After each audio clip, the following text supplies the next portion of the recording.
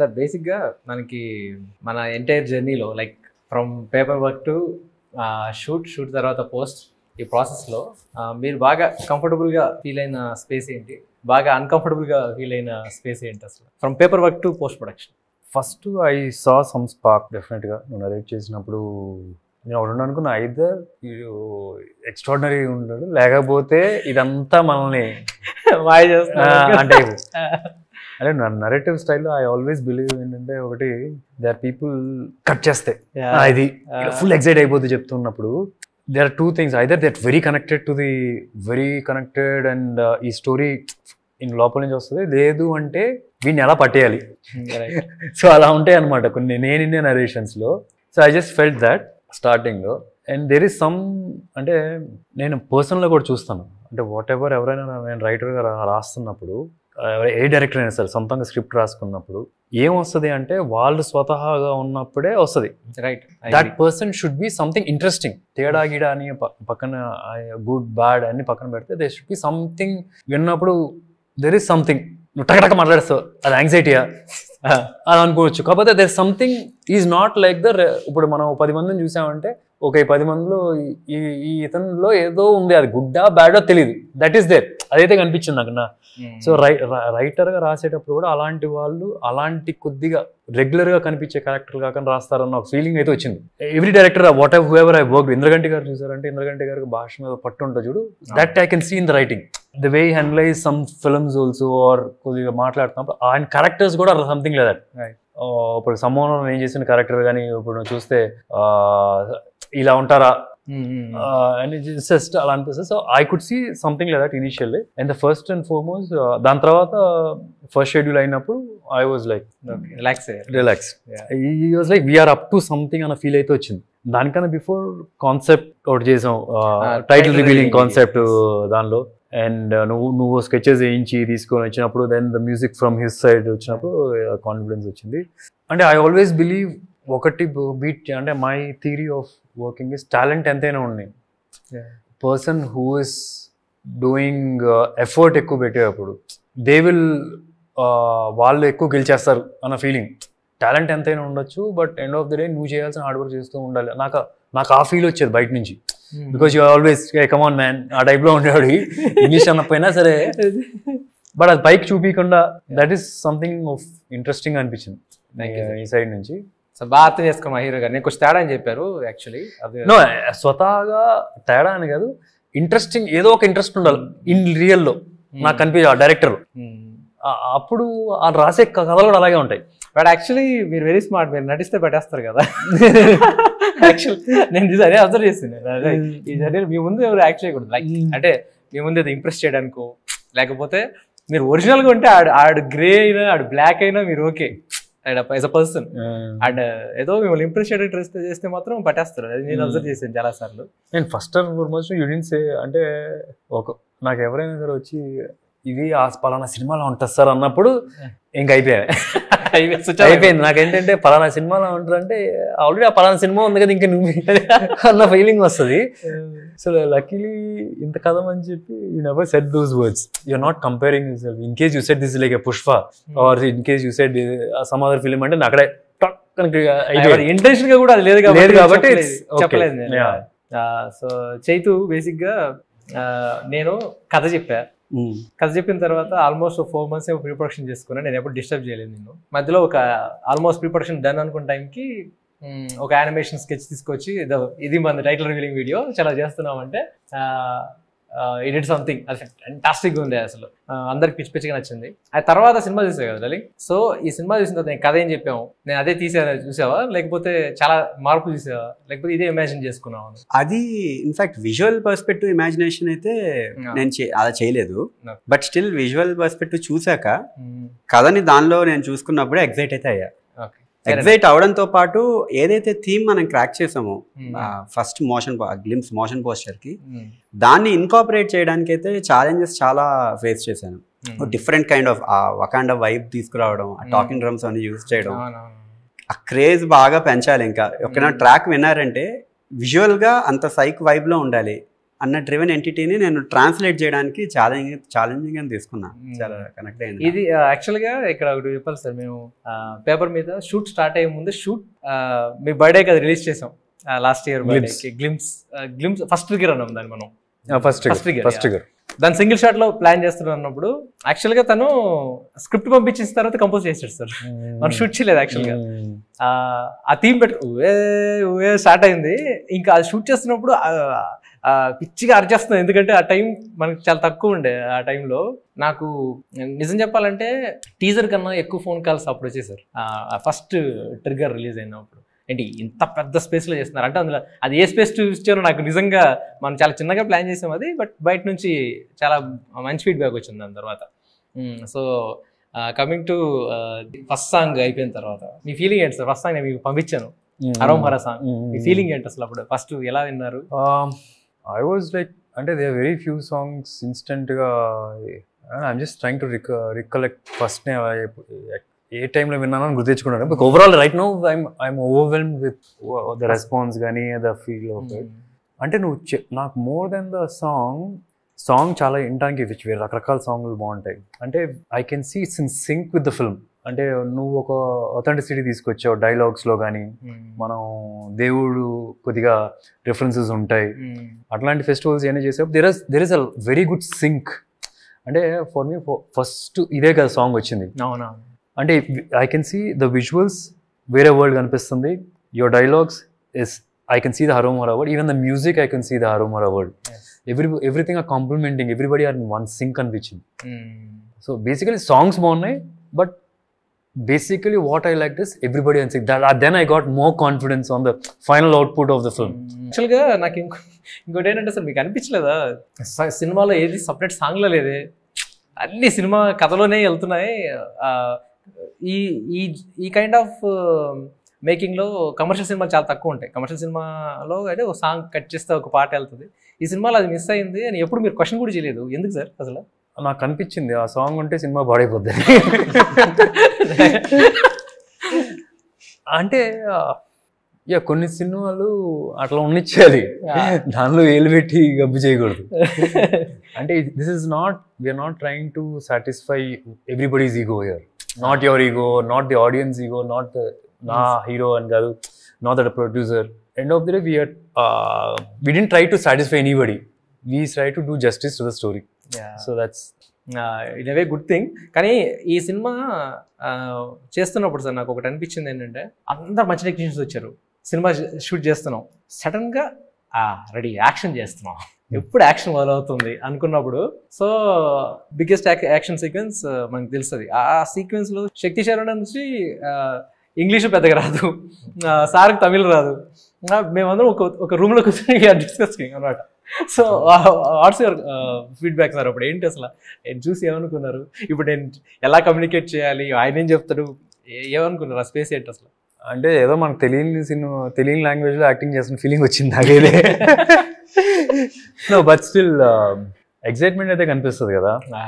Excitement అయితే I think is super fine Shakti Sadan I'm telling you he'll do with big big big films what a fine అంటే నువ్వు నాకు రెండు మూడు differences తీసుకొచ్చావు. Uh, ఈ ఫైట్ మాస్టర్ ఆ fight Ah. Master finally we all sat together for him he's an extraordinary find sir అనిపిస్తుంది ఇప్పుడు మీ క్వశ్చన్ తెచ్చుకోండి. ఆయన పేరు ఏంటి? శక్తి శర్వణన్ అగైన్ సుబ్రహ్మణ్య స్వామి పేరు. Mm. అదే Yeah, మనం అడగలేదు అది.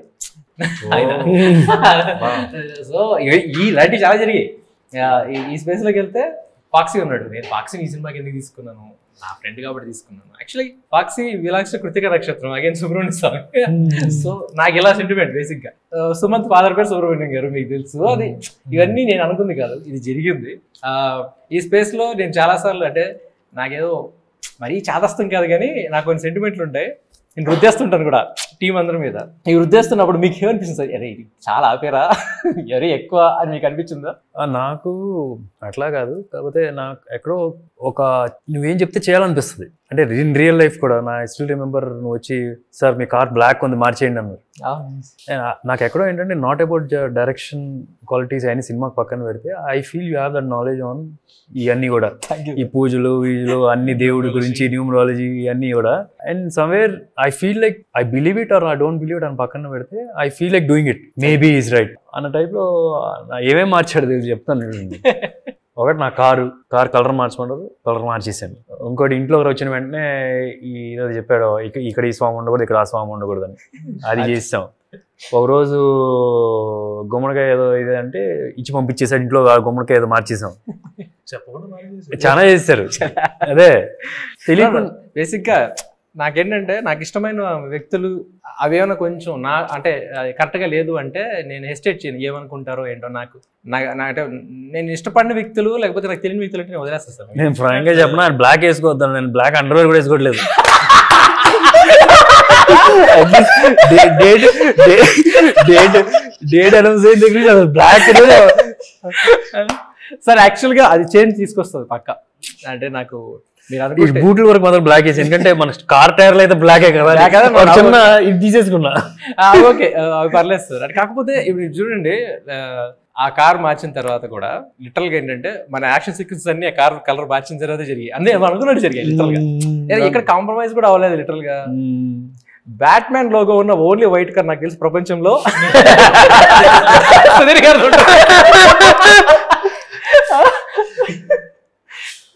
సో బ్యాక్గ్రౌండ్ ముసలోడు అయిపోయాడు.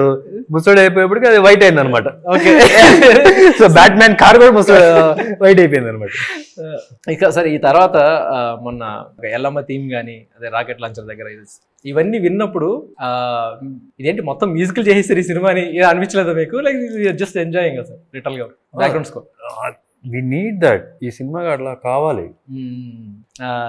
ఇంకో విషయం ఏంటంటే సార్ మీ పర్ఫార్మెన్స్ గురించి సావ దొబ్బేసింది చైతు. అసలు మామూలుగా లేదు. వేరే మీ ఎప్పుడు అంటే మనకి ఏంటంటే మన దగ్గర వచ్చే టాపిక్ వేరే వస్తుంది కదా. సార్ నేను ఇది రాగానే మ్యూజిక్ వినిపించేసి ఎగ్జైట్మెంట్లో చెప్పడం మర్చిపోతున్నాను. ఇప్పుడు నీ మాటలో చెప్పు చైతు.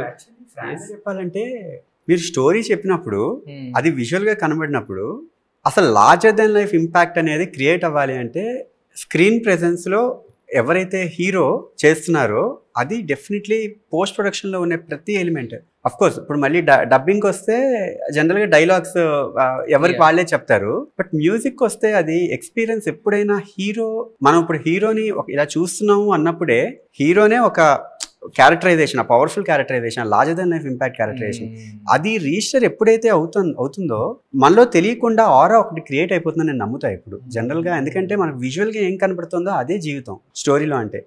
అసలు నా నేనైతే అసలు చాలా షాక్ అయిపోయాను సుదీప్ బాబు గారు. అసలు నిజంగా చెప్తున్నా ఇది డైరెక్ట్గా చెప్పాలని క్వశ్చన్ అడిగాను. ఎందుకంటే నాకు- చెప్తున్నావు నేను నేను తీసుకెళ్ళట్లేదు అక్కడ నేను అసలు విజువల్ చూస్తున్నప్పుడు అయితే అసలు చాలా షాకింగ్ థింగ్ అంటే నా మైండ్లో ఎన్ని మల్టిపుల్ పర్సనాలిటీస్ గ్రో అయ్యాయి అంటే ఒకే ఒక ఫ్రేమ్లో మీరు కనబడుతున్న ఒక ఫ్రేమ్లో నేను ఆలోచించే డ్రివెన్గా కోర్ ఇంటెన్స్ ఉంది. And at the same time responsibility కనబడుతోంది.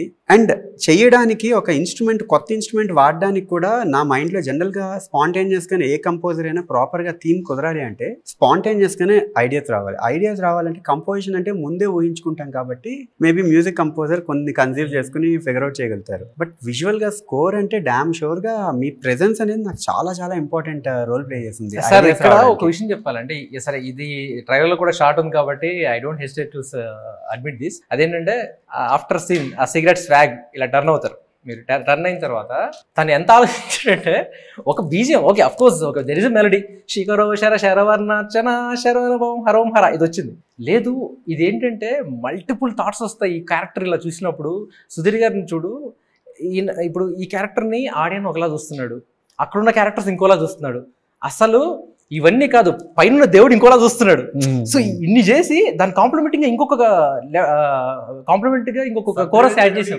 సబ్ మెలడీ యాడ్ చేసాం. అదేంటిది? ఆ, గిరిజపతే సదాశివ. అంటే. ఎగిసిపడే ప్రాణం తమరిదే. అంటే ఏంటంటే శివుడికి శివుడికి చెప్తున్నాడు. శివుడికి ఏమంటే నువ్వు ఎక్కువ ఆలోచించుకో నీ కొడుకే. సో నువ్వు భరించాలంతే అయింది అని అంటే ఆయనలో ఉన్న విద్వాంసాన్ని అన్ని ఒకే సిచ్యువేషన్లో చూపించడం అనేది సార్ మ్యూజికల్గా చెప్తున్నాను కదా ఇవన్నిటికీ ఇంత ఆలోచించాడు తను. దానికి కారణం మీ పర్ఫార్మెన్స్ అని చెప్పాడు. ఇది అది మీకు బయటకు జనాలకు తెలియాలని చెప్పి నేను ఈ క్వశ్చన్ అడిగాను లిటరల్గా. సో షోర్ షార్ట్గా అసలు చెప్పగలుగుతా. మీ పెర్ఫార్మెన్స్ సీరియస్లీ చాలా సో లిటరల్గా నేను చాలా ఎంజాయ్ చేశాను. ఈ ఈ ప్రాసెస్ ఒక మ్యూజిక్ ప్రాసెస్ నేను చాలా ఎంజాయ్ చేశాను. నేను తనకు కూడా చాలా సార్లు చెప్పాను. ఫ్రాంక్లీ నాకు that is the easiest part in the entire film just అంటే నాకు లక్కీగా I don't know from where I got this also వాకింగ్లో నాకు న్యాచురల్గా నాకు అది వచ్చింది. నువ్వు నోటీస్ చేసే ఇంతకు ముందు. నాకు అన్నిటికన్నా టఫ్ అనిపించింది నువ్వు అక్కడ వంట వండేటప్పుడు తినేది. అవన్నీ నాకు చాలా బాగుండే నేను అదే. చెప్పాను మీకు. చాలా so that was the that was tough both we have achieve that was tough and లక్కీగా ఏంటంటే sometimes you know you should be your natural self ఉంది కదా అది వచ్చింది కొద్దిగా. కొద్దిగా ఆ క్యారెక్టర్కి దట్ దట్ ఆల్సో హెల్ప్ అనుకుంటున్నా. నేను చాలా సార్లు నేను ఫాక్సీకి కూడా చెప్పాను మన డిఓపికి చెప్పింది ఏంటంటే బేసిక్గా ఏంటంటే మేము పెద్దగా అదిరిపోయిన షాట్ సూపర్ ఇలా క్లాప్స్ కొనే టైప్ కూడా కాదు. మేము ఓకే నెక్స్ట్ అలా మాట్లాడుకుంటాం. ఆ తర్వాత గ్యాప్లో ఏం పఫ్ స్క్రీన్ ప్రెసెన్స్ రా ఇది? అసలు ఎస్పెషల్లీ దీనికి సార్ మా అంటే ఆ డాబా సీక్వెన్స్లో అయితే మేము ఎన్నిసార్లు చూసుకున్నామో ఫోన్లో పెట్టేసుకున్నా నేను. అంటే సరిపోదు సార్ అది. ప్రతిసారి వెళ్ళి ఆ, అందరు మన వాళ్ళు అందరి ఫోన్లో ఉన్నాయి తెలుసా మీకు? తెలియదు ఆ విషయం ఆ ప- ఒక్క సీక్వెన్స్ మన వాళ్ళు అందరి ఫోన్లో ఉన్నాయి. ఎందుకంటే అదొక మెంటల్గా ఒక రకమైన సాటిస్ఫాక్షన్ ఇస్తుంది. ఆ, ఇది మనం షూట్ చేసామని చెప్పేసి అది ఇప్పటికీ అలాగే ఉన్నాయి లిటరల్గా ఇలాంటి సీక్వెన్స్ ఇంకొకటి ఏంటంటే నాకు అనిపించింది అర్ధరాత్రులు చేసినాం. పొద్దున్న ఐదు గంటల వరకు చేస్తూనే ఉన్నాం. ఎప్పుడు సుధీర్ గారు కూడా క్వశ్చన్ కూడా ఇంకెంతసేపు షూట్ చేస్తున్నారు ఎప్పుడు అట్లా నీకు ఓకేనా అంటే కాల్ షీట్ పెరుగుతుంది ప్రొడ్యూసర్ సైడ్ నుంచి ప్రెషర్ ఉంటుందో? ఈ క్వశ్చన్స్ తప్పితే నన్ను ఎందుకు ఎంతసేపు చేయిస్తున్నారు ఎప్పుడు? ఎప్పుడు ఒకసారి కూడా అడగలేదు మీకు తెలియదు కదా అంటే చెప్తున్నా. అయితే ఒకసారి ఇలా చేసాం. చేస్తున్నప్పుడు నాకు తెలిసి almost twenty four hours reach అయిపోయాం మార్నింగ్ సిక్స్ నుంచి స్టార్ట్ చేసాం next day morning five thirty same energy అందరం. అంటే ఇప్పుడు మేము అలా ఉన్నాము అంటే ఆ, దానికి రీజన్ ఏంటంటే హీరో సైడ్ నుంచి సేమ్ ఎనర్జీ. అలసిపోలేదు మేము ఇంకా తనకు కూడా తెలుసు. ఎవరు అలసిపోలేదు. లిటరల్గా మీకు గుర్తుంటే సార్ ఆ రోజు సన్ రైజ్ చూసి ప్యాకప్ చెప్పాము మనం. Sunrise. Sunrise to sunrise. Sunrise sunrise to sunrise అది బేసిక్గా. ఆ, ఆ రోజు ఆ day. తెలిసి జెన్యున్గా మూవీ ఎక్స్పీరియన్స్ ఆ వర్క్ ఫ్లో ఎక్స్పీరియన్స్ని ఎంజాయ్ చేస్తే అసలు మనకు స్ట్రెయిన్ తెలియదు మేబీ అది అదే జరిగింది అదే రీజన్ అదే జరిగింది నాకు. అంటే ప్రాసెస్లో ఇవాల్వ్ అవుతున్నప్పుడు మన మైండ్ ఇవాల్వ్ అవుతున్నప్పుడు కష్టం తెలియదు. ఇష్టమైన ఇష్టమైన మా డిస్కషన్స్ చేస్తున్నప్పుడు ఎక్కువసేపు మాట్లాడుతూ ఉంటారు. స్ట్రెయిన్ తెలియదు ఆకలి వేస్తున్న టైం తెలియదు. ఉమ్, నేను అది నమ్ముతా. మ్యూజిక్ స్కోర్ యాక్చువల్లీ ఫ్రాంక్గా చెప్పాలంటే ఆ సీన్ ఏదైతే ఉందో శిఖర్ శిఖర్ సర్వర్ నచ్చిన ఆ సీన్ దగ్గర చేసిన థీము మన ఇంటర్వెల్ బ్యాంగ్లో వచ్చే సీక్వెన్స్ యాక్చువల్లీ ఆ సీన్ పెట్టుకొని నేను almost like four five themes అందులో మన మన మూవీలో ప్రాపర్గా క్రాక్ అయినవి. అసలు ఆ స్వాగ్ గానే ఎక్స్ట్రాడినరీగా నాకు అసలు ఇన్స్పిరేషన్ నిజంగా. ఆ శిఖరో శిర శరవణ నచన శరవణ పవం హరం హర అదొకటి అండ్ తందర ధరం ధర ధార ధిర ధిర ధిర ధర ధం ధర ధార ధర ధిర. అది మెలడీ చెప్పిన పాడలేరు. మేము మాకే గుర్తురావు పదాలు. అవి చాలా కష్టంగా ఉంటాయి. అసలు ఇన్ఫాక్ట్ ఇంకొక చాలా పాజిటివ్ థింగ్ మనకి లక్ ఏం జరిగిందంటే కొలాబరేటివ్ అప్రోచ్లో హర్ష అని అతను. లిరిక్ రైటర్ అసలు అవుట్ స్టాండింగ్ టాలెంట్ అసలు స్పాంటేనియస్గా అప్పటికప్పుడు ఒక ఐడియా తత్కారమే నాకు జనరల్గా చాలా వరకు కాంప్లికేటెడ్ అంటారు అందరూ. ఇప్పుడు తందర ధరం దర ధార ధర ధిర ధిర ధర ధం దర ధార ధర ధిర ధర ధరం దర ధార ధర ధిర ధర ధరం ధరం తరే. ఇక్కడ ఇక్కడికి end అయింది. సార్ బేసిక్గా చాలా మంది నేను ఫేస్ చేసింది. రేడియేటర్లు ఏంటంటే కష్టంగా ఉందండి తత్కారం ఇక్కడ మీరు ట్యూన్ మార్చుకోండి అంటే నాకు పిచ్చి కోపం వస్తుంది సార్. నాకు మామూలుగానే చాలా కోపం. సౌండింగ్లో నేను అసలు కాంప్రమైజ్ అవ్వలేదు. అంటే మ్యూజిక్ కంపోజర్ సైడ్ నుంచి నాకు ఆలోచించడం కాదు పర్సనల్గా నాకు ఇష్టం ఉండదు. తత్కారం ఎందుకు మార్చాలి ఈవెన్ అసలు గ్లిమ్స్ గ్లిమ్స్ దానిలో.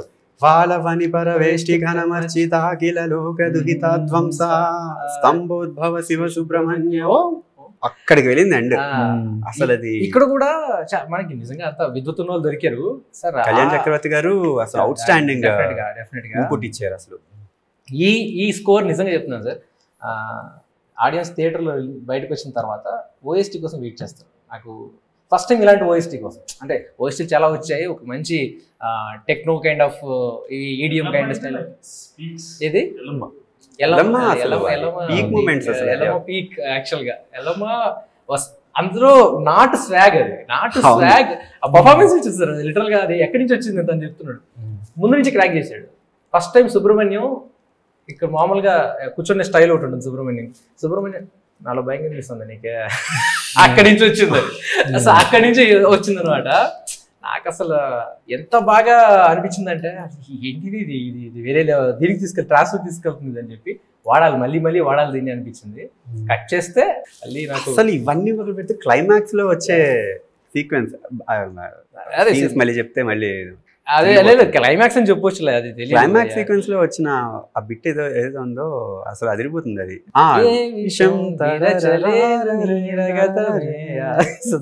సారీ ఏదో మనం ఇంట్లో మాట్లాడుకుంటూ మాట్లాడుకున్నాం sorry let's finish the interview sorry okay ఇంకా అడగడానికి ఏం లేదు. నాకు తెలిసి ఈ జూన్ ట్వంటీ ట్వంటీ ఫోర్లో జూన్ ఫోర్టీన్త్ వచ్చే మన సినిమా సమ్మర్లోనే ద బెస్ట్ ఫిల్మ్గా బయటకు వెళ్తుందని నా నా నమ్మకం. నా నమ్మకానికి నాకున్న అండ ఏంటంటే నా సుబ్రహ్మణ్య స్వామి కూడా బాగా ఆశీర్వదించి ఈ డేట్ తీసుకొచ్చాడని. ఎందుకంటే మనం తెలిసి పోస్ట్ పోన్ చేయలేదు జూన్ మంత్ సార్కి లక్కీ అని మనం అనుకుని పోస్ట్ పోన్ చేయలేదు. జరిగింది. అది జరగడంలోనే నాకు తెలిసి సెంటిమెంట్గా వర్కౌట్ అవుతుందని నా ఫీలింగ్. ఇంకోటి ఏంటంటే జూన్లోనే మనం బ్యూటిఫుల్ షెడ్యూల్ చేసాం లాస్ట్ ఇయర్. సో ఈ జూన్లో బ్యూటిఫుల్ విక్టరీ వస్తుందని నా ఫీలింగ్. సో అడ్వాన్స్ కంగ్రాచులేషన్స్ మన టీమ్కి సో చాలా కాన్ఫిడెంట్గా చెప్తున్నా. So thank you everyone thanks for the support love you sir love you darling thanks వెట్వేల్ మురుగన్కి అరోమరా Hey guys, Hi, this is Venkatesh here. This is Vijay Devarkonda. hi, this is Samantha. నలుపుకున్న Srinivas subscribe to Telugu Film Nagar. Subscribe to Telugu Film Nagar. Do subscribe to Telugu Film Nagar. Telugu Film Nagar Please subscribe to Telugu Film Nagar. You're watching Telugu Film Nagar. Subscribe to Telugu Film Nagar for the latest updates. Telugu Film Nagar చిన్న bell icon ఉంటుంది అని నొక్కండి